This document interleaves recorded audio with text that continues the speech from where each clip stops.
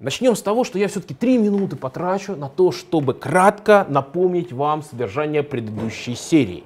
Итак, мы с вами поговорили о том, что же такое состояние квантовой системы, мы с вами поговорили о том, где эта информация может нам пригодиться на практике. Сошлись на том, что если мы сейчас уже проектируем устройство, в том числе устройство на отдельных квантовых объектах, то мы должны уметь описывать их состояние, мы должны э, уметь адекватно, адекватно э, моделировать характеристики таких э, практически используемых устройств. И в это понятие адекватности однозначно э, входило умение предсказывать вероятности событий. И здесь мы с вами поговорили о одной очень распространенной ошибке. Мы, надеюсь, с вами договорились о том, что понятие вероятностное описание применимо и к классическим системам очень и очень часто, и к квантовым. Есть э, нюансы, есть э, особенность специфика, которая в частности выражается в на количественном уровне в существовании так называемых интерференционных членов при вычислении вероятности перехода из исходного состояния в конечное через некое промежуточное состояние. Э, отлично. Далее мы с вами, уважаемые дамы и господа, поговорили о процедуре измерения в квантовой механике и договорились о том, что бы мы хотели вообще увидеть, проверяя э, фундаментальные основы квантовой механики, например, в знаменитом эксперименте с двумя щелями. Схема этого эксперимента э, представлена на, внизу данного слайда. Также поговорили об обобщении эксперимента с двумя щелями и о том, как из этого обобщения получается знаменитый феминский интеграл по путям. Э, получается он э, точно так же, как э, в оптико-механической аналогии получаются так называемые интегралы Гюнгенса-Френеля.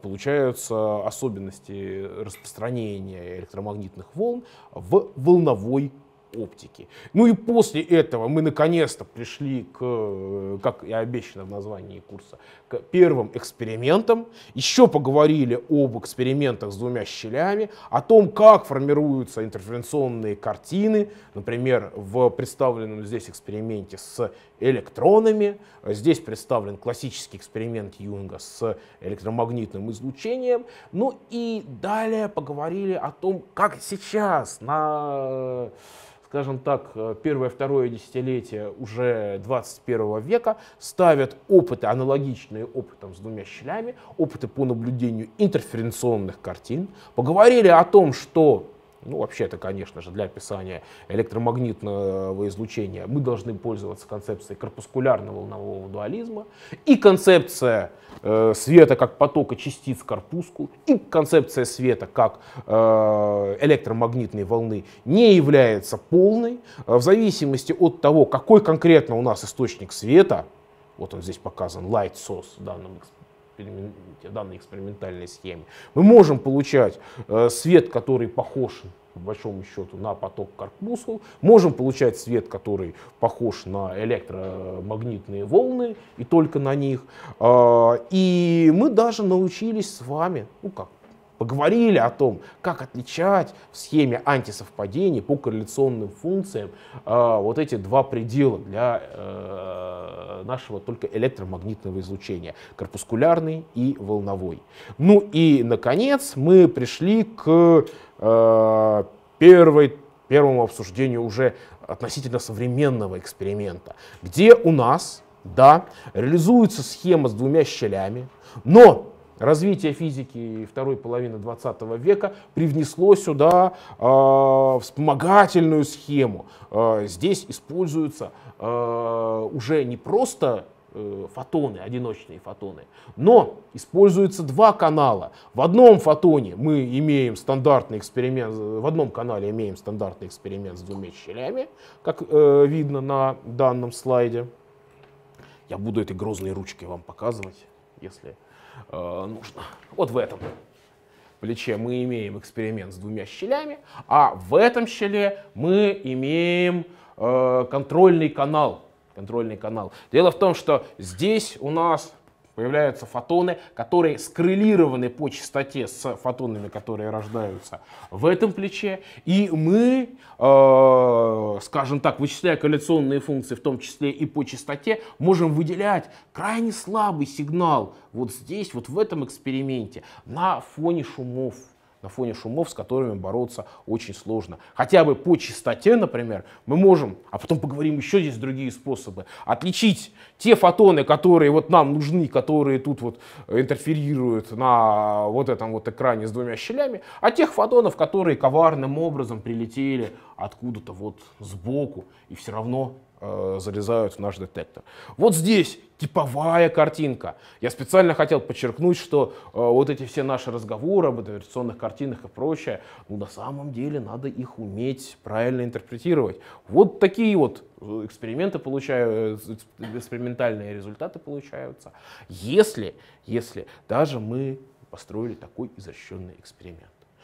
Ну что ж, После этого напоминания мы приступаем к теме сегодняшнего занятия. Заранее хочу попросить у вас прощения. Сегодня мы займемся, ну хотелось бы мне сказать, выкавыванием меча на последующие занятия. Но нет, увы. Мы попробуем хотя бы каменный нож, камерное такое рубило э, сформировать на этой лекции, которая пригодится нам для того, чтобы хоть что-то делать, хоть что-то на количественном образ, э, уровне описывать в квантовых экспериментах э, современности. Итак, итак, уважаемые дамы и господа, поехали. Начинаем формирование нашего рабочего инструмента. Итак, в прошлый раз мы много говорили о том, что квантовые системы удобно описывать на языке волновых функций. Но мы здесь должны подчеркнуть, что сплошь и рядом нам придется использовать уже и язык так называемый вторичного квантования. Итак, первое квантование, оно здесь у меня обозначено э, первым зеленым заголовком, подразумевает, что мы описываем состояние системы через волновую функцию, ну или оператор плотности, о которых мы говорили о прошлой, на прошлой лекции. Ну а динамическую переменную – некую величину, которая является функцией обобщенной координаты импульса, мы описываем как линейный эрмитов оператор, причем говорим, что э, соотношения между динамическими переменными у нас повторяют соотношения между линейными эрмитовыми операторами. Это первое квантование. Но далее мы переходим, дамы и господа, к квантованию второму мы говорим, что у нас теперь сама волновая функция становится полевым оператором. У нас вводится понятие, это очень важно, операторов рождения и уничтожения. Те, кто более-менее прилично помнит прошлый курс, помнят наш прошлый курс прошлого года, помнят, как мы вводили для Ферми-систем, для Базе-систем операторы, уничтожающие возбуждение с некоторым импульсом К. Вводили операторы, рождай, э, уничтожающие возбуждение, родили операторы, рождающие возбуждение с неким импульсом К. И говорили о том, что это очень хорошо, это очень удобно, это позволяет записывать какие-то, например, простейшие функции Гамильтона, Гамильтонианы а, в очень ясном, наглядном виде через операторы числа частиц. Это позволяет ясно, наглядно записывать состояние систем. Но, но э, при этом это все хорошо только для бесконечных и однородных задач, для бесконечных однородных систем.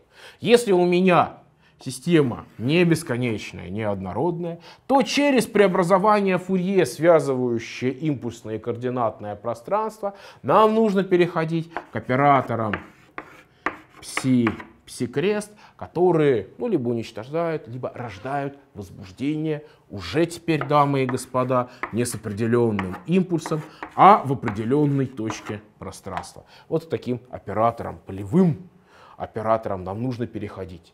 И если ранее у нас пси по модулю в квадрате, ну то есть произведение пси функции комплексно сопряженной на psi давала плотность вероятности обнаружить частицу в момент времени t в окрестности точки с координатой x, ну и с координатой r. Не так это важно. Теперь уже у нас вот такая пара операторов. Пси крест пси. Оператор числа частиц в точке будет определять концентрацию фермионов, бозонов, электронов, фотонов. Кстати говоря, вот у нас только что шел разговор про фотоны. В окрестности точки R в момент времени t. Ну вот. А, я только что подчеркнул, что у нас следует различать операторы рождения и уничтожения а, э, частиц, возбуждений для ферми-систем и для базе-систем. У нас все, все, все частицы в трехмерии делятся на два класса. Это либо те частицы, у которых для системы не взаимодействующих таких вот э, элементиков волновая функция не меняет свой знак при обмене двух каких-то частиц местами. Это частицы бозоны, к таким частицам относятся фотон. И это у нас частицы, у которых функция меняет свой знак на противоположный, когда мы берем и переставляем пару частиц местами. А, это такие частицы называются фермионами. К числу фермионов относятся, ну, например, электроны. И вот здесь, на этом слайде, я напоминаю, ну или сообщаю, кому как, уважаемые дамы и господа, почему нам при описании многочастичных задач, а мы, конечно же, будем говорить о макроскопических квантовых эффектах, о квантовых системах, где большое число частиц, нам крайне нужна эта концепция вторичного квантования. Нам крайне важно вот это вот представление операторов рождения, уничтожения, возбуждения частиц. Ну, например, как здесь указано на слайде, с определенным волновым числом k, с определенным импульсом hk. Итак, мы говорим следующее, что будем условно записывать волновую функцию системы. Вот она, видите, синим цветом на экране показана, взята в фигурный испуг. Так вот, будем волновую функцию системы описывать следующими словами. Прекрасно, у меня имеется n частиц. Вот буква n фигурирует здесь. Мы считаем, что у меня первая частица находится, ну, например, в состоянии с импульсом k1. 1, 1, дамы и господа, это номер набора, в общем случае, квантовых чисел – но если мы говорим просто о невзаимодействующих частицах, которые занимают ячейки в фазовом пространстве, в пространстве импульсов, то тогда да, это просто номер. Ничего за этой цифрой 1, кроме номера, не скрывается. Да? А место ее, вот этой его частицы, ее порядковый номер, определяется местом в перечислении. Вот первая, вторая, третья, четвертая, n. Очень удобная как мы уже показывали ранее и покажем, надеюсь, в будущем, запись. Причем нам нужно учитывать, что вот набор таких волновых функций, записанных уже теперь э, в, в рамках концепции вторичного квантования, в представлении чисел заполнения, number representation, э, так вот, состояния у нас являются ортонормированными, они образуют базис. В том смысле, что если я беру и скалярно умножаю, скалярно умножаю, у нас вот такое состояние для двух частиц К1, К2 штрих на К1, К2. Что я, Анастасия, получаю? Вот я умножаю вот такой вот вектор К1, К2 штрих. Правильно, совершенно верно, совершенно верно. Вот это у меня здесь записан чистый беспримесный ноль в силу ордономерности. Очень хорошо, что вы как раз недавно проходили линейную алгебру, аналитическую геометрию, и эти нюансы помните. Надеюсь, и остальные здесь это легко вспомнили. Ну а, товарищи, я только что долго распинался о том, что есть система фермионов, есть система бозонов. Вот этот язык вторичного квантования, представления чисел заполнения, вот это большое количество слов позволяет записать одной строчкой. Математика темы прекрасна, что позволяет иногда длинные слова, длинные предложения и даже абзацы записывать короткими строчками. Смотрите, говорится следующее, что вот у меня есть n частиц, вот у меня частица it, вот у меня частица житая. И я действую на это состояние оператором перестановки. У меня получается здесь вот такой вот, такой вот вектор, у которого здесь на итом месте стоит э, волновой вектор или импульс кожитая, а на итом месте, э, житом месте стоит э, волновой вектор или импульс КИТ. Прекрасно утверждается, что из принципа тождественности частиц, принципа тождественности неразличимых частиц, у нас вот это состояние и вот это состояние отличаются только на число, на некое комплексное число. Это, по сути дела, одно и то же состояние. А мы знаем, что в квантовой механике у нас э, волновые функции, отличающиеся на константу, любое комплексное число, это волновые функции одного и того же состояния. У нас все состояния определены с точностью до нормировки. Прекрасно. А следующее равенство в этой строчке, уважаемые дамы и господа, вытекает уже даже не из какого-то там принципа, а просто из здравого смысла. Если я еще раз подействую оператором перестановки, только теперь уже вот на это состояние ну что я получу? Я, конечно же, получу исходный вектор. Видите? Вот этот вот вектор. Так? Но только еще раз выскочит собственное значение, собственное значение вот этого самого оператора перестановки. Ну, я здесь его обозначил на этом слайде альфа. И что получается? Получается, что вот это и это у нас совпадающие состояния. Значит, альфа в квадрате равняется единице. Значит, у меня альфа равняется, Леонид, чему?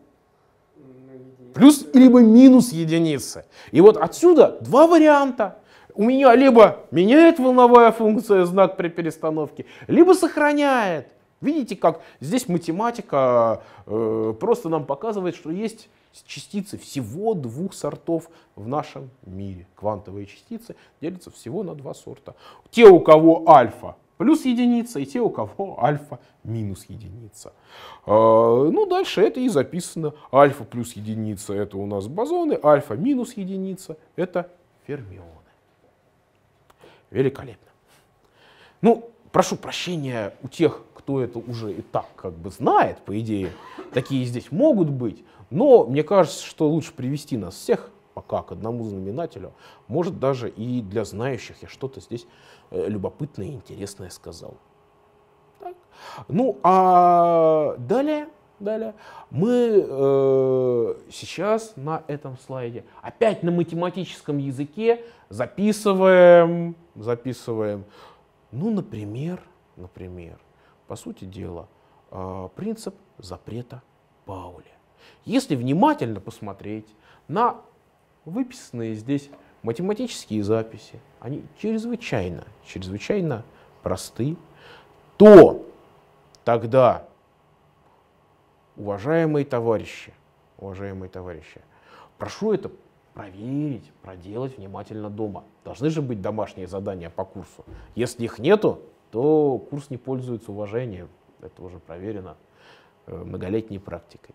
Так вот, проверьте, пожалуйста, следующее утверждение, что, например, например, у нас из ортонормированности рассматриваемого базиса, из встроенной симметрии в наши волновые функции, наши волновые функции, вытекает, что у нас, у нас так называемые числа заполнения, число частиц в неком состоянии, например, для Ферми-систем, могут принимать только два значения, либо 1, либо 0.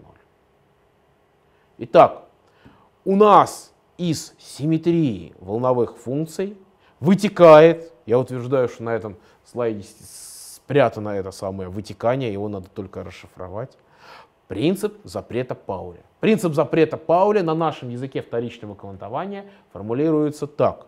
У меня в состоянии с заданным набором, ну заданным набором квантовых чисел, в данном случае с заданным импульсом или волновым числом k, первое там или второе или n, неважно, может быть либо один электрон, один фермион, либо ни одного. Иначе никак. Двух, трех, пяти, десяти, миллиона, 130 здесь быть не может. Это вытекает чисто из симметрии наших состояний. Также еще обратите внимание на то, что мы далее с вами достаточно часто будем э, без лишних обоснований, без лишних обоснований э, пользоваться разложением нашего состояния исходного, видите, вот оно огромное исходное состояние, на одночастичные состояния. И одночастичные состояния невероятно просто, невероятно красиво выглядят в представлении чисел заполнения в рамках нашего вторичного квантования.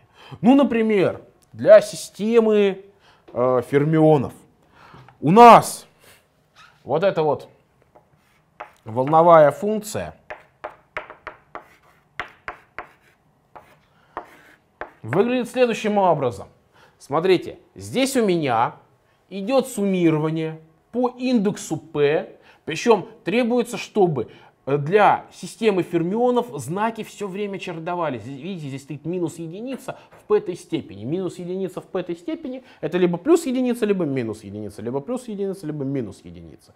p у меня пробегает всевозможные значения, и у меня получившиеся такие вот произведения одночастичных функций как бы идут с чередующимися знаками. Плюс-минус, плюс-минус, плюс-минус.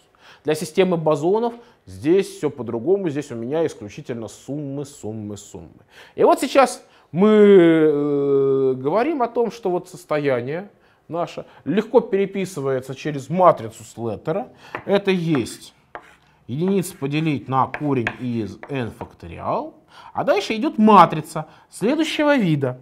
В этой матрице у меня идут К, П, первое, далее К, П, второе и так далее. И так далее. Ну и в конце этой матрицы, э, в ячейке с номером NN, у нас будет стоять К, П, Н.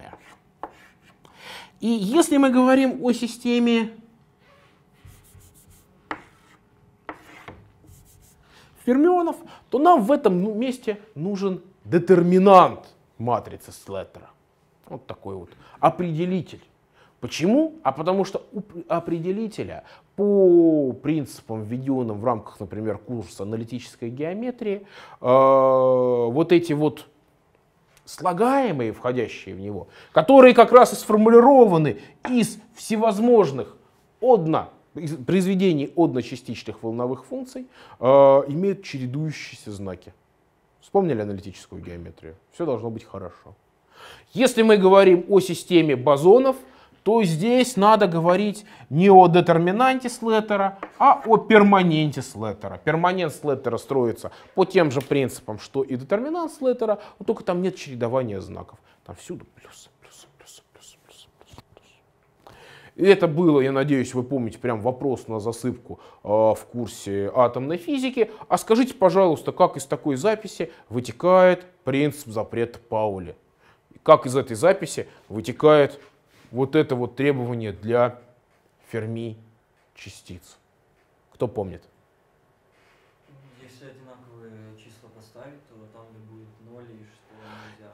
Если мы поставим одинаковые две частицы в одном и том же состоянии, то у нас в определителе слеттера получится два одинаковых столбца. Правильно? А если у меня в определителе два одинаковых столбца, то что, Данил, с этим определителем происходит по курсу ангема? Он ноль. Забыли. Ну ничего, я вот не зря тогда эту лекцию сегодня потратил на напоминание. Значит, тогда все хорошо, все правильно. Видите, во всем можно найти положительные стороны. Ну что ж, двигаемся далее. И мы приходим к э, тому, что через заявленные числа заполнения оказывается нам крайне легко, крайне легко записывать состояние, ну, например, много электронных систем. Так всегда можно. Это принцип нашего общения. Хорошо. Так. Предпоследняя вот, формула на К. Вот, у нас получается дельта от К1 до КН. Так. Ну, и от К1 штрих до К штрих N штрих. Это значит, что у меня разное количество частиц. Или что значит вот N и N штрих? Почему мы их разное количество как будто получается? Так а у вас же количество частиц может меняться.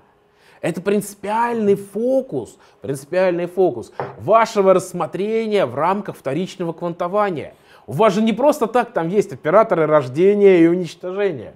У вас, у вас, возможно, гибель частиц в рамках этой концепции. А все очень просто. Вот если мы следим, например, только за бозонной системой, вот у нас есть некое количество фотонов. Возможно же поглощение средой каким-то атомом отдельно взятого фотона. Правильно? Это описывается каким образом?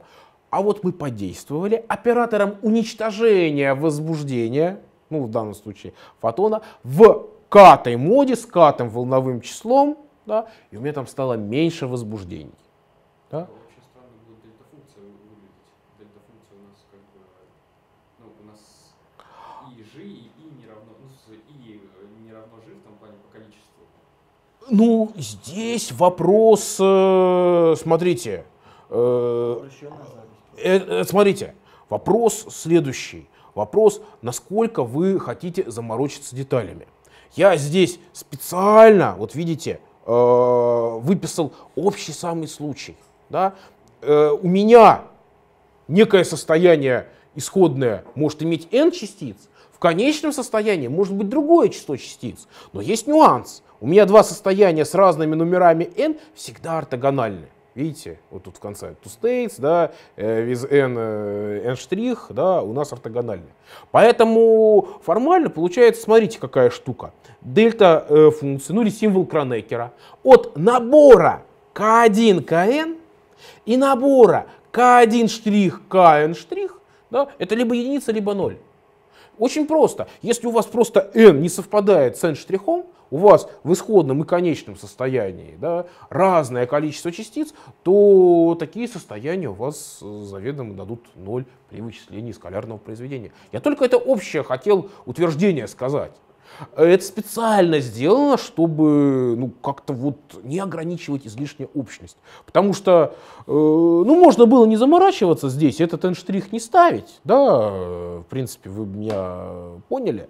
Но, товарищи, а, а если нам дальше в каком-то эксперименте вот реально придется мучиться с поглощениями какими-то, да? Или мы будем, например, там говорить о таких задачах макроскопических, как э, макроскопическая сверхпроводимость. Да? Помните, у нас там вообще состояние было с нефиксированным числом частиц, там постоянно число частиц динамически менялось. То есть хорошо бы здесь договориться, что в общем случае в общем случае, у нас э, число частиц переменное. Иногда для простоты я об этом могу забывать, если суть физики, которую мы в данный конкретный момент обсуждаем, не в этом, э, но на математическом уровне стоит постелить соломку, э, заготовить э, все формулы заранее по возможности в общем виде. Тем более, что это, как видите, несложно. Вот это вторичное квантование, представление чисел заполнения позволяет э, все эти записи очень быстро делать. Ну, а далее, далее, уважаемые э, дамы и господа, просто э, некие примеры. Я счел, что все-таки, все-таки мне в этом обсуждении немного не хватает наглядности. Ну вот, в частности, в частности, э, как-то слова про вторичное квантование, представление чисел заполнения у вас уже наверняка э, звучало. Да, это просто без всяких э, сомнений. Но, тем не менее, тем не менее, вот здесь я счел необходимым еще раз записать, как выглядит вот эта вот самая функция psi от t. Да? Подчеркнуть, что здесь эта функция у нас является суперпозицией. суперпозицией. Смотрите чего. Вот таких вот забавных скалярных произведений. Да? А, откуда это берется? А вот не случайно я оставил кусок из предыдущей лекции, напомнил как у вас э, считается скалярное произведение, его смысл. Э, это мы проскочили, возвращаемся опять к этой записи. Просто обратите внимание, что у вас состояние пси от t, пси от t разбивается в виде суперпозиции, смотрите, n0, n1 и так далее, идем n-альфа, а далее у меня идет скалярное произведение, вот этого вектора в базисе вторичного квантования в представлении чисел заполнения, видите, вот он идет с фиксированным числом числа частиц, на произвольную функцию пси от t. Функция пси от t, она может быть, вообще строго говоря, и не записана в данном базисе. Она не обязана быть элементом базиса. Согласны? Видите? И я подчеркиваю это, в, данном записи, в данной записи, потому что сталкивался не один раз на зачетах и на экзаменах с тем фактом, что кажется, что базис, удобный базис в этом представлении исчерпывает все возможные состояния. Нет, это не так. Э, произвольное состояние пси не является элементом этого базиса. Через элементы базиса представимо в совершенно стандартном виде, так как это показано на данном слайде. Причем тут э, запись сделана в общем виде, как для фермионов, так и для бозонов. Но только для бозонов n-альфа, число частиц в выделенном состоянии альфа, ну, например, с волновым числом k и t. Да? Так вот, э, в этом выделенном состоянии число бозонов может быть 0, 1, 2 и так далее, сколько угодно. А вот число фермионов n-альфа в любом состояние либо 0, либо единица. Так, ну здесь еще раз напоминаю, как действуют операторы вторичного квантования. Э, если мы записываем состояние через э, формализм чисел заполнения. Здесь, как мне кажется, уважаемые дамы и господа, какие-то комментарии просто излишни. Оператор А альфа берет и убивает у меня некий электрон э, в состоянии N-альфа. Нелли, а как вы вообще все понимаете? Ну, про фотон, ну хорошо. Мы вроде так чувствуем, понимаем, что значит на физическом уровне. Вот на пальцах можем представить, что значит такое действие по убийству фотона означать. А что такое убийство электрона? в состоянии N-альфа. Вот как мы электрон-то убиваем. А как, как кто-то, кто, кто электрон поглощает? Сидит там такой. Ну, смотрите, а, я как бы, э, обратите внимание, нюансы. Я обещаю вам рассказывать об эффектах, которые лежат в основе уже сейчас работающих устройств. Аннигиляция электронов — это круто да? Нет, ну есть такой эффект, да? А, его наблюдали некое ненулевое, ну сильно ненулевое количество раз в специальных установках. Да? Я даже обещаю вам рассказывать про макроскопические квантовые эффекты, когда нечто такое наблюдается с большим числом частиц, что описать можно только на языке э, квантовых состояний. Аннигиляция макроскопически большого числа частиц — это страшновато, нет? Что такое убить электрон состоянием альфа? Какие есть мысли? О, прекрасно, замечательно. Мы очень легко можем убить электрон в состоянии N-альфа. Они постоянно тут гибнут вообще вот непрерывно. Гибель электронов в состоянии N-альфа, например, в нашем предыдущем курсе физики конденсированного состояния, изображалась на феймовской диаграмме очень простым образом. Вот, летит у меня электрон и спустил, ну, допустим, фотон. Свободный электрон, конечно, не может испускать фотоны, да, как вы знаете, но пускай это квазисвободный электрон. Пускай мы проигнорируем э, этот неприятный нюанс. Для нас важно следующее, что вот узел, частичка полной феймановской диаграммы, где гибнет электрон в состоянии с импульсом К, рождается электрон в состоянии с импульсом К', но это означает, что на нашу систему, которая может быть, быть, кстати говоря, очень большой и содержать этот электрон только в качестве одного из э, своих частиц, подействовала вот такая вещь. АК, А как крест, штрих стоит возле К. Понятно? Ну и фонон у нас, э, ну фотон родился под действием оператора. Давайте так его обозначим. BL крест. У меня здесь из э, фотонного вакуума, из отсутствия фотонов, появился один квант возбуждения электромагнитного поля.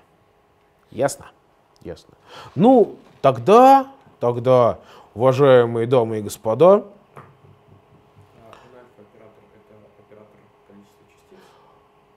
А мы про это как бы да говорили. Вот он, видите, здесь выписан. Да? Это А крест альфа, А альфа. И давайте сейчас подумаем, а почему можно вот этот оператор N альфа э, обозвать таким образом? Вот он у меня, оператор N альфа. Ну, я уже забегая вперед, подтвердил вашу догадку. Это действительно оператор числа частиц. Почему это оператор числа частиц? А очень просто. Берем одно состояние с фиксированным числом частиц. Так? Действуем на него вот таким вот оператором. Так? Что получаем? Ну, товарищи, я думаю, что все здесь достаточно тривиально. Так? Здесь мы получили n альфа минус единица. Да?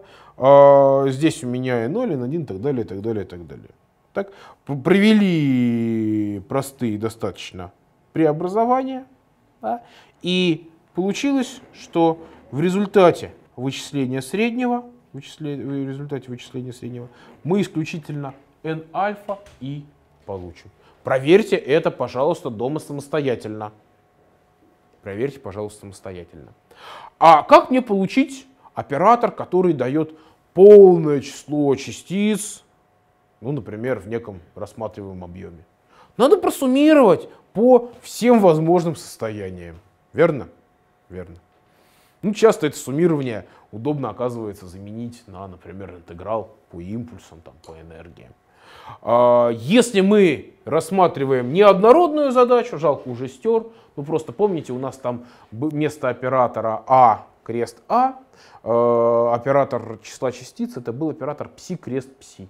Где пси это просто был оператор уничтожения, а пси крест был оператор рождения э, частицы в точке. Там, чтобы полное число частиц получить, надо было просто банально проинтегрировать по всему объему. Да, для таких вот зависящих от э, координаты э, полевых операторов пси и пси крест. Так, движемся далее, уважаемые товарищи. Ну, здесь э, некие вспомогательные такие вот э, соотношения выписаны, которые, опять-таки, я бы попросил вас э, проверить самостоятельно дома. У всех есть э, разосланная презентация, материал, от которого отталкиваться у всех имеется. Нам важно подчеркнуть следующее, что действуем оператором числа частиц, уменьшается у меня число частиц, вываливается множитель корень из n альфа. А, в прошлом году мы с вами, уважаемые товарищи Нелли Даниил, и с вами тоже, Алексей, а, разбирали задачу просто об одномерном гармоническом осцилляторе. Было такое дело? И в этом одномерном гармоническом осцилляторе мы, как и положено в рамках курса теор меха, произвели переход к новым координатам обобщенным. Вместо координаты импульса P и Q у нас там появились новые такие вот обобщенные координаты, которые э, оказались А и А крест обозначаться стали. И это в, в одномерном, в одном одномерном гармоническом осцилляторе такие слова.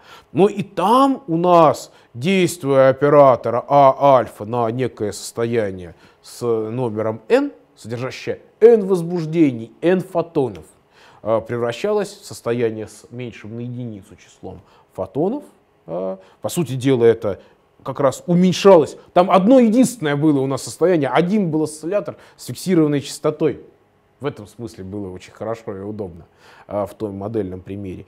И э, мы всегда получали, ну, либо на одно меньше, либо на одно больше возбуждений в такой системе под действием операторов, уничтожения возбуждения. Ну и нормировочные такие замечательные константы вываливались.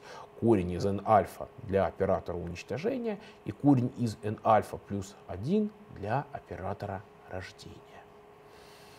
Так, э, ну здесь я уж не смог э, избежать э, того, чтобы не сослаться, например, на нашу любимую э, теорию Бардина Купера Шлифера, э, которую мы прямо всю построили в свое время, используя представление вторичного квантования, используя специфику операторов рождения и уничтожения. Но я пока забыл об одном важнейшем нюансе. Я забыл о том, что симметрия по перестановкам наших волновых функций, наших волновых функций э, дает нам возможность записывать, записывать через последовательность действий операторов рождения произвольное состояние, видите, n0, n1 и так далее, n альфа. А эта возможность, в свою очередь, выдает нам требования, требования коммутации, либо антикоммутации для наших операторов А и А крест. Вот они, видите, ну, ну здесь да, здесь э, в неком смысле для удобства я записал следующее утверждение. Смотрите. А крест, а крест для двух состояний. Это всегда ноль. Причем независимо для того, это у нас бозоны или фермионы. А видите, нижний индекс вот здесь у нас фигурирует. Вот этот нижний индекс и различает бозоны и фермионы. Здесь речь идет либо о коммутаторе, либо об антикоммутаторе. Коммутатором мы называем вот такую комбинацию величин, в частности операторов. Коммутатор АБ это есть АБ минус БА. Антикоммутатор, вот он здесь плюсом для фермионов, мы называем комбинацией вида АБ плюс БА для пары величин А и Б. Это определение действует и для, дамы и господа, операторов рождения и уничтожения. Итак, а, про операторы окрест и окрест мы с вами договорились. Также очевидно, что у меня равняется нулю и э, коммутатор, либо антикоммутатор для операторов А, альфа, А, бета. Ну, просто в силу свойств эрмитового сопряжения. Ноль вы возьмите да, Эрмитова сопряжите, сопрягаете, получаем 0, ничего не меняется. А вот если мы Эрмитова сопря... посмотрим Эрмитова сопряженную часть к э, левой части вот этого равенства, то мы получим там пару операторов А альфа, А бета. Так, а что-то здесь может быть не нулем. Не нулем. Да, уважаемые товарищи, э, у нас может быть нечто не нулем. Что у нас будет не нулем? У нас не нулем будут коммутаторы типа А крест А. А крест А. Посмотрите, вот специально для фермионов внизу, в нижней строчке, я вот эти вот высокие слова расшифровал на э, примере э, одночастичного состояния. Мы с вами договорились, что у нас произвольное состояние собирается из одночастичных по определенным простым правилам. Но и здесь видно, что, смотрите, вот у меня для фермиона там все легко. Там либо нет частиц, либо одна частица. Так? Так. Действуем мы оператором уничтожения на состояние, когда нет у меня э, с импульсом P частиц. Ну, видно, что получаем число 0. Это определение оператора уничтожения. Когда он действует у нас на состояние, где нет частиц, он должен там еще уменьшить число частиц, но не может, и просто число 0 дает. Число 0. Когда у меня оператор рождения действует на фермионную систему, на состояние, в котором уже есть частица, видите, там АП крест действует на состояние 1P, да, то это будет все равно тоже число 0. Это дает мне следующие, выписанные внизу слайда 17, результаты для пар операторов. Посмотрите на них, видно? А если они здесь записаны, то тогда очевидно, что для фермионной системы антикоммутатор вот такого вида, смотрите, АП крест, АП плюс АП, АП крест. Ну, то есть это и есть как раз АП крест, АП с индексом плюс. Вот эта штука, что вам даст? Вот давайте посмотрим внимательно. Независимо от того, действует это у меня на состояние 0p или на состояние 1p получится то же самое состояние, что было. Смотрите, если действуем на состояние 0p, вот это слагаемое даст 0, правильно? А вот это слагаемое даст что? АП крест, действуя на 0p, Анастасия, что нам дает? Единицу 1p. АП, действуя на состояние 1p, даст нам 0. 0p состояние. То есть вот это вот есть либо 0 с индексом p, либо 1 с индексом p, в зависимости от того, на что мы действуем. Для единицы точно так же легко видно, Леонид. Мы подействовали на состояние 1p, тогда вот это на второе слагаемое просто даст нам число 0, а вот это второе состояние даст нам, смотрите, 1p превратится в 0p состояние, потом опять обратно превратится в 1p состояние. Итого, вот такой вот антикоммутатор для наших прекрасных фермионов есть единица.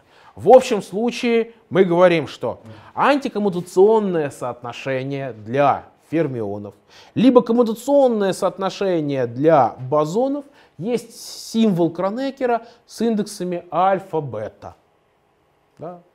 То есть, если у меня совпадают импульсы, то это единица. Не совпадают ноль. Все остальные варианты Э, коммутационных, антикоммутационных соотношений зануляются. Понятно? Прекрасно. Да, ну я тут измазался, конечно. Ужас. Идем далее. Идем далее. А, товарищи, потихонечку уже переходим к тому, как описывать многочастичные состояния уже потихоньку, потихоньку мы сейчас подходим к понятию матрицы плотности. Итак, э, матрицы либо оператора плотности. Произвольную нашу динамическую переменную APX да, э, в рамках представления вторичного квантования, в рамках представления чисел заполнения, удобно рассмотреть, э, описать следующим образом. Смотрите, что там у нас стоит. Первая, самая верхняя э, строчка. Мы суммируем по всевозможным состояниям альфа, бета, да, которые у нас вот, э, образуют базис. А теперь смотрите, что идет. Там у меня идут элементы бета, альфа, да, и есть, есть скалярное произведение А, действующее на бета и умноженное на альфа. Вот это мы, естественно, в рамках нашего курса называем матричным элементом оператора А. А с индексами альфа и бета.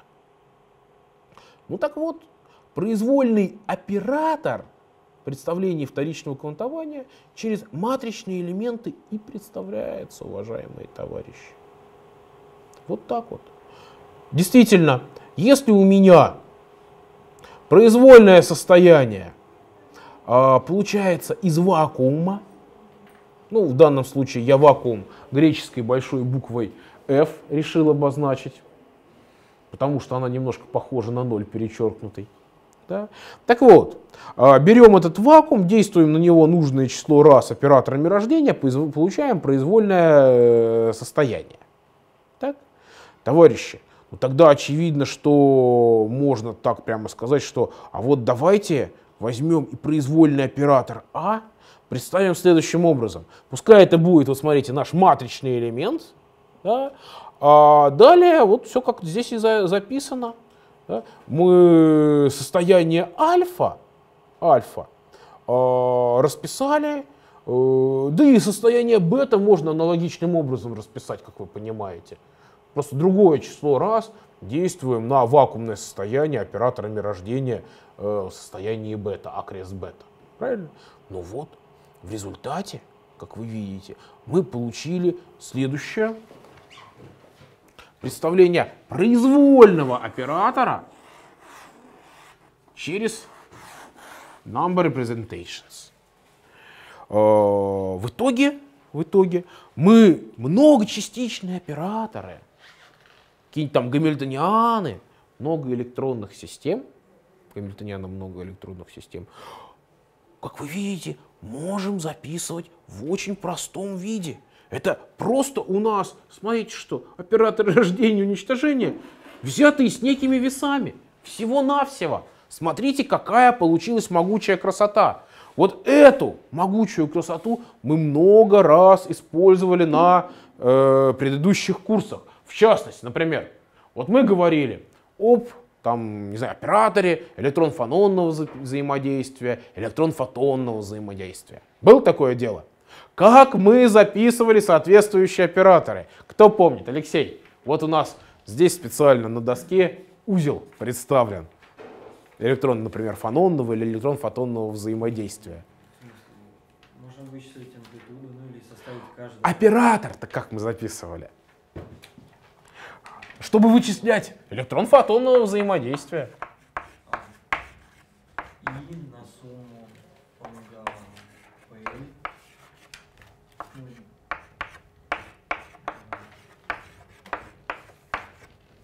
Согласны? Ну там, поскольку посложнее задача, у нас вот такая штука была. Ну и была эрмитово сопряженная часть к этой части. Верно? Ну и здесь соответствующий вес там стоял. W с индексом L суммировали по PL. Ну, минус и так минус И. Товарищи, увидели родство душ? Вот это сейчас лучше поздно, чем никогда. Математическое обоснование того, что можно записать гамильтониан электрон фононного взаимодействия следующим образом. Это у меня есть комбинация из операторов рождения и уничтожения, где с некими весами идут слагаемые, отвечающие гибели электрона в состоянии с импульсом P, рождение его состояния с импульсами P минус L и рождение там, ну, фотона или фонона, это не принципиально сейчас, с импульсом L. Ясно? То есть э, мы сейчас обосновали важнейшую концепцию, возможность записывать операторы, в частности операторы Гамильтона, через, через э, такое забавное, интересное представление. В частности, если можно через операторы рождения и уничтожения записывать э, произвольные операторы, то давайте и оператор плотности, задающий состояние, попробуем записать через э, представление вторичного квантования. Но прежде чем мы подойдем к этой записи через операторы э, рождения и уничтожения, надо все-таки напомнить вам, что же за зверь такой оператор плотности. Потому что с ним есть некая беда. В курсе атомной физики я не успеваю его нормально изложить. А, а в курсе квантовой теории, как я понимаю, э, там им есть о чем поговорить, и часто считается, что, ну это вам уже известно, это мы место проскакиваем.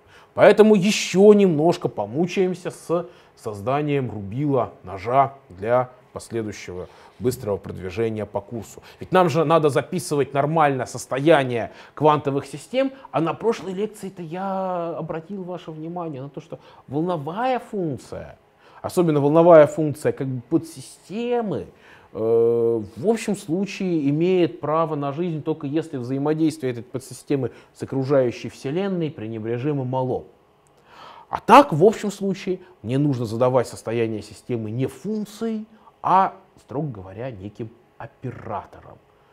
Неким оператором. Вот давайте постепенно, через несколько занудных, очень простых, каждый очень простой шаг, шаг через несколько очень простых шагов придем к этому понятию. Итак, опять стартуем с известных нам уже представлений. Пси и фи — это вектора в гильбертовом пространстве, это у нас пока волновые функции. Так? И, товарищи, если у меня пси и фи элементы гильбертового пространства, то никто не помешает мне ввести матрицу так, как это показано на данном слайде. Я же могу построить из этих элементов Гильбертова пространства вот такую вот комбинацию.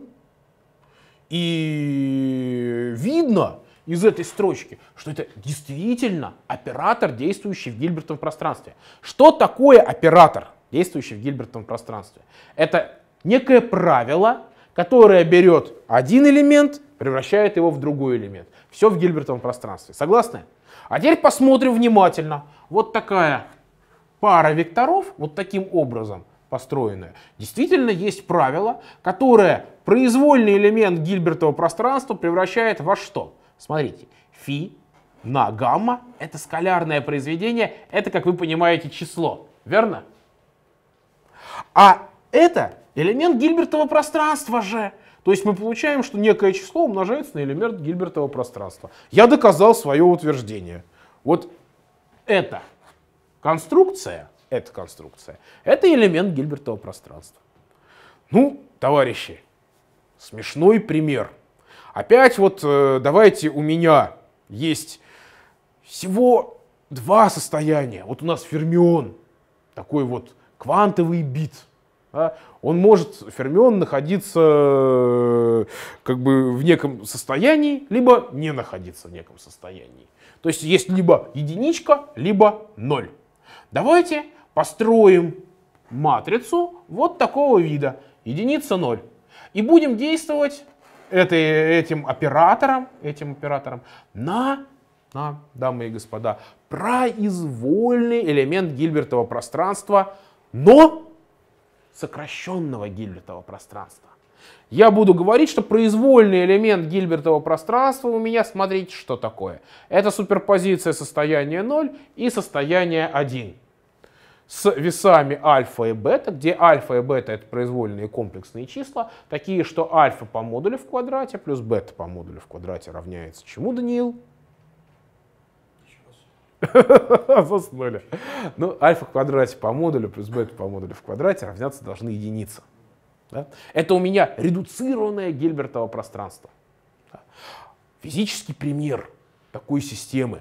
Все время все-таки хочется не слишком далеко уходить от физики вам прекрасно известно. Раз сказано, что это фермион, рассказано, что это электрон, то это у меня может быть, например, электрон э, со спином вверх, либо со спином вниз. Прям вот физическая у нас такая вот как бы картинка. Ну, либо, либо это действительно у меня ферми-система, я каким-то образом выделил кусочек в этой ферми-системе, вот сумел как бы, да, закоулочку, да, и слежу, имеется там ну там электрончик или еще что-то такое, либо не имеется. Приведу опять пример. Жалко рук, но что делать? Э, изложение важнее. Смотрите, сделал для наших электрончиков очень глубокий потенциал. Тут много-много электронов, ферми-система. И добавил маленький такой вот отнорочек к нему. Вот это вот по оси x у меня ну, какая-то обобщенная координата от которой этот потенциал зависит. Да?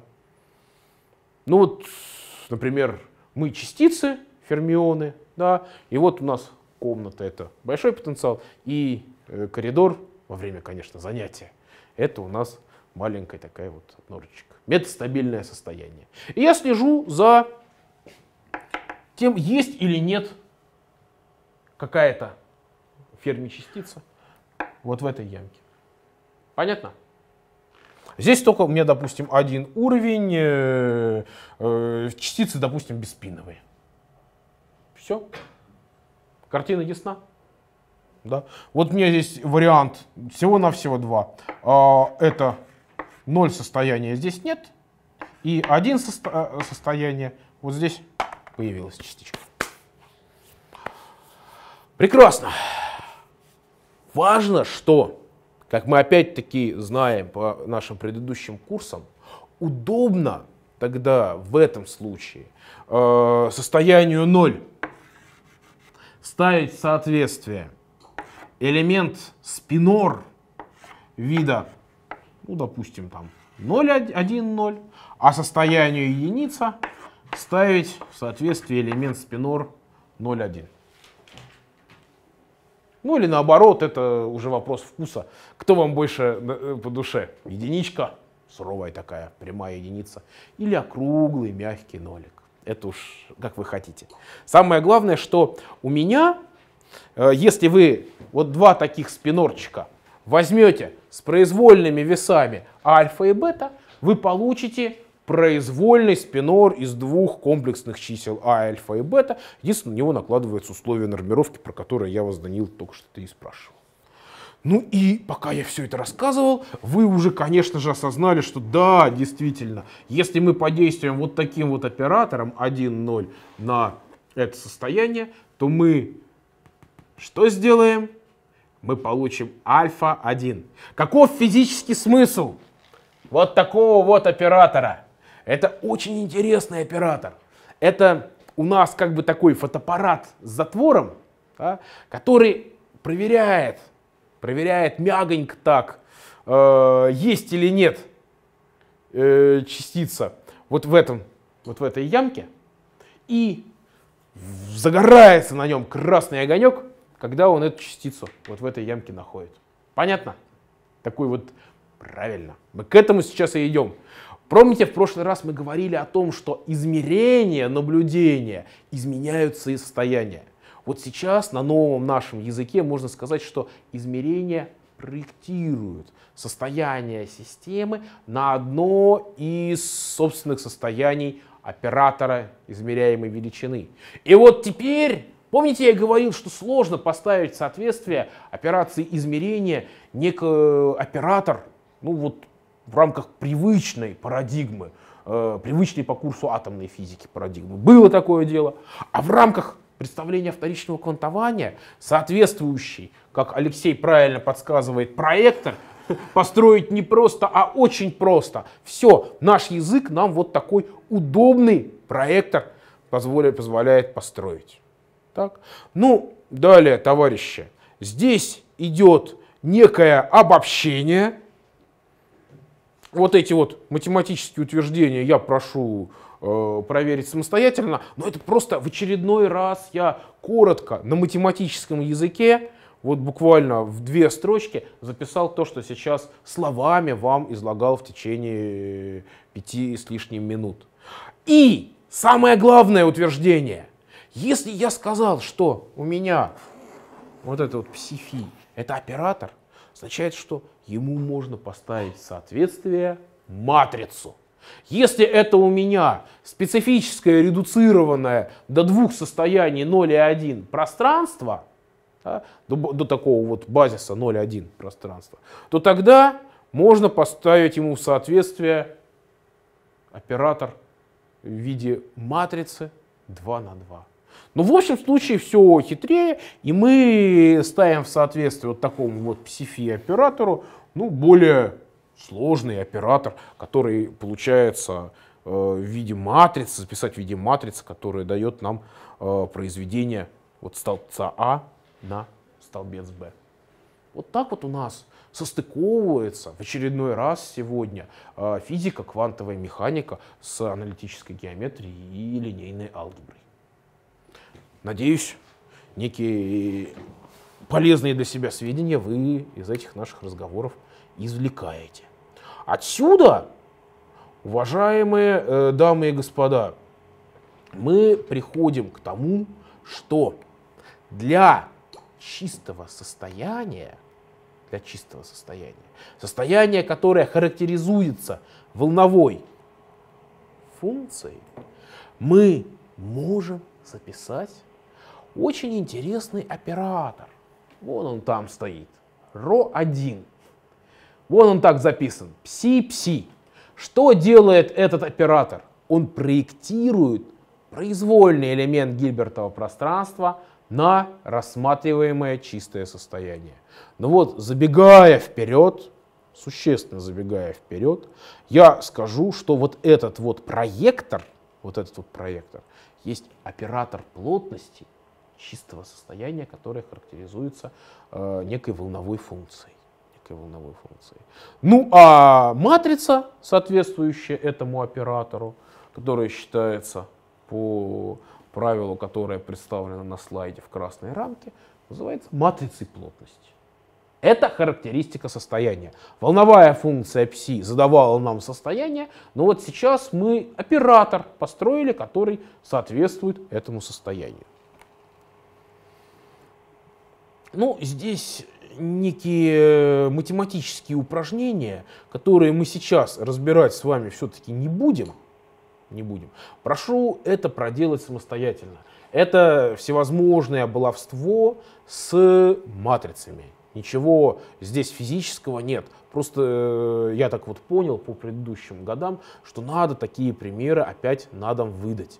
Потому что забывается к четвертому, пятому курсу, катастрофически забывается э, материал первого семестра. Я просто напоминаю, что э, смотрите, какие здесь интересные вещи вылезают из этой математики. Какие интересные физические вещи. Дело в том, что у меня только что было договорено, что э, спиноры задают состояние одной частицы в нашем редуцированном гильбертовом пространстве. А если там две частицы? Вот у меня яма, да, и я смотрю, а две частицы могут быть у меня? Ну, в принципе, могут быть, если это, например, фермионы со спинами или бозоны. Да? Ничего не, не помешает им вдвоем оказаться в той маленькой ямке, в метастабильном состоянии.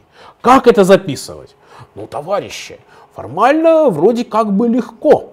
Да? Можно сказать, что а вот давайте у меня э, некий уже теперь формально такой вот столбец 0,0, 0,1, да, э, уже, пардон, не столбец, а вектор, состоящий из двух элементов, да? 0 и 0, 0 и 1 задает уже теперь состояние двухчастичной системы. Да? Это чуть сложнее. Как для такой штуки записывать, записывать а, мат, ну, как бы матрицы плотности, операторы плотности?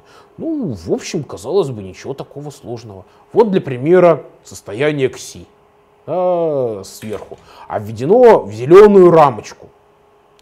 Это у меня единица поделить на корень из 2 0, 0, плюс единица поделить на корень из 2 0, 1. Физсмысл в состоянии 0 и 0, 0, 1 вам, я думаю, понятен. Это базис вот именно э, в представлении вторичного квантования здесь используется. Ну, отлично. элемент кси да, в нашем пространстве записан. Поскольку это у меня уже двухчастичное состояние, то простенький двухэлементный спинор превратился уже в вектор-столбец из четырех чисел. Ладно. Раз это у меня вектор-столбец задан здесь, волновая функция задана в представлении вторичного квантования, то оператор плотности, соответствующий этому чистому состоянию с точно известной нам волновой функцией э, записывается элементарно. Проверьте, не соврал ли я. Мог соврать. У меня, как вы знаете, есть такая особенность. Я иногда специально вас ввожу в заблуждение, но иногда, каюсь, э, бывают у меня и ошибки. Проверьте, пожалуйста, вам будет интересней. Но самое главное, на что я хочу обратить ваше внимание. Смотрите, вот этот у меня э, оператор ро с индексом Xi разбивается на, смотрите, произведение двух матриц 2 на 2, каждая из которых можно толковать как оператор плотности для одной частицы, либо для другой частицы. Видите? Проверьте, пожалуйста. Смотрите, вот там у вас такой вот э, оператор 1, 0, 0, 0. Да? Это у меня для 0,0 состояния да, а это для одной частицы, 1, 1, 1, 1 это для другой частицы, перемножаем вот эти две матрицы и получаем вот такой вот блок, да, 1, 1, 1 в верхнем левом углу и нули, так сказать, разбиваются. Понятно? Это далее будет для нас важно. Это означает, что в данном случае у меня факторизуется э, оператор плотности, и его можно как бы представить, вот у меня состояние одной частицы, вот у меня состояние другой частицы. В общем случае это невозможно. Даже здесь, смотрите, супер простой пример, но только чуть-чуть его поменяем. Возьмем, вот видите, в красный состояние типа 0,0 плюс 1,1. Возьмем вот такое состояние. Казалось бы, это абсолютно то же самое, что только что я вводил в зеленую рамку. Ну, никаких проблем. Для него точно так же можно посчитать э, оператор плотности, матрицу плотности, Росиндексом КСИ. Ничто не помешает. Но если вы внимательно на эту штуку посмотрите, если я там нигде не сделал ошибку, то получившийся оператор не распадается, я, во всяком случае, не смог найти факторизацию, я не смог его разбить на произведение двух осмысленных матриц 2 на 2. Видите, такая штука получилась. То есть, вот смотрите, у меня две частицы, э, и теперь оператор плотности э, вот такой вот двухчастичной системы я не могу факторизовать, не могу разбить. Так что вот, вот состояние одной частицы, а вот состояние другой частицы. Есть только состояние пары частиц, и никак иначе. Ясно? Ну, и есть э, промежуточные случаи, вот там вот третий случай, я его обозвал соу-соу случай, да, когда я могу, пожалуйста, для, правда, трех уже частиц записать вот такой вот оператор э, плотности, и этот оператор плотности разбивается на три матрицы, но только там две матрицы хорошие, вроде как бы соответствуют э, операторам плотности для одной частицы. Правильно? А одна матрица плохая. Вот она такая, да, 1, 1, 0, 1. Здесь, как вы видите, никакой хитрости нету. Просто не ошибаться при сложении единичек и ноликов и при примножении матриц. Матрица плотности для двух частиц. Ну, да, у меня получилось, смотрите, какая штука. Здесь э, две частицы, но только да, вы правы. Я просто, видите, суперпозицию 0,0, 0,1, 1,1 собрал. Естественно, у меня получилась э, матрица, которая по размерности точности совпадает тому, что у меня в красной рамке обведено, и тому, что в зеленой рамке обведено. Это понятно, потому что двухчастичная у меня матрица плотности. Но она вот таким гадостным образом, она факторизуется, но не до конца.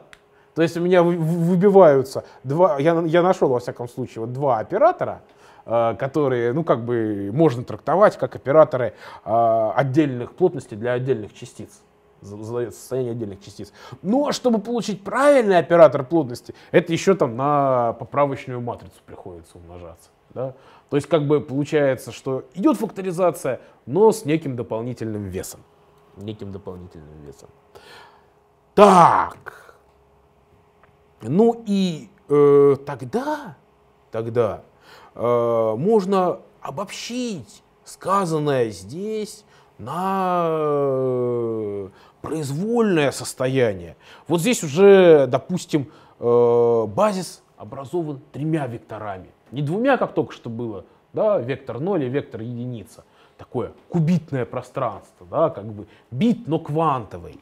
Здесь у меня кутрит э, рассматривается. Э, уже три вектора образуют базис, да, и видно, что у меня состояние системы, состояние системы э, задается, ну, очевидно, э, через оператор, который есть произведение э, такое специфическое, Э, ну не произведение, э, образуется по тем же правилам, как мы рассматривали на предыдущей лекции. Ну а проектор, проектор P, который проектирует на выбранный элемент э, Гильбертова пространства, ну вот, например, э, он может проектировать не только на выбранный элемент Гильбертова пространства, он может проектировать на плоскость, видите, вот такая вот плоскость, E1, E1, E2, E2, это же плоскость вываливается, согласны?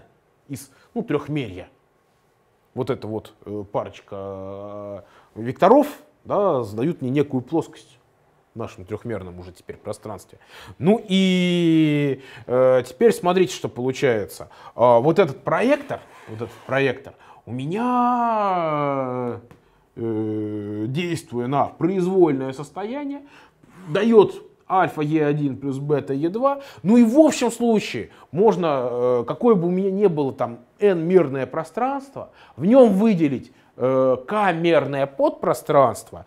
И вот эта вот комбинация, сумма по жи, ежи, ежи, да, ежи, ежи, ежики вот эти вот замечательные, будет проектором на вот эту вот гиперплоскость, да, сколько-то мерную, выделенную в более мерном пространстве. Понятно?